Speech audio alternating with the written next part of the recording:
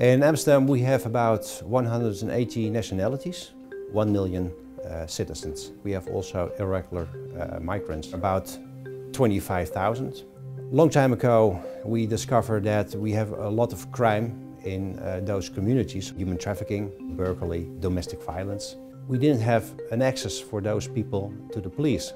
So it's about 10 years ago that we make the plan and a project for some police stations that they are open for uh, those people who are victim of crime. And we tell them if you come free, you tell the story, you go free out. So first we try to connect with NGOs, church organizations who were there before and help those people.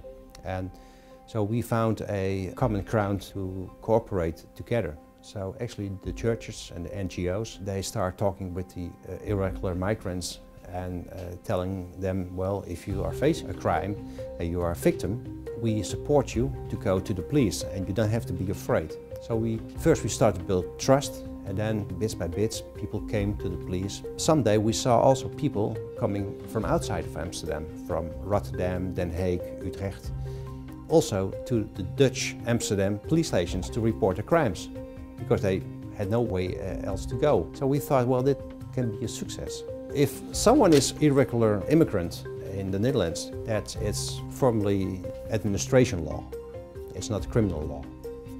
So you have to choose which one do you want to enforce. Do you want to enforce the criminal law or do you want to enforce the administration law?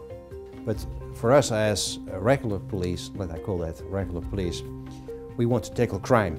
We are, uh, some people call us crime fighters, and we want to help people.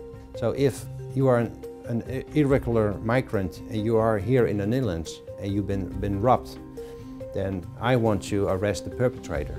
That's for me most important. I would like to ask my colleagues, do you know how many undocumented people you have around you or in your city? If you cannot give a number or a figure, then you have to ask yourself a question, do I miss something? I think yes, you miss something.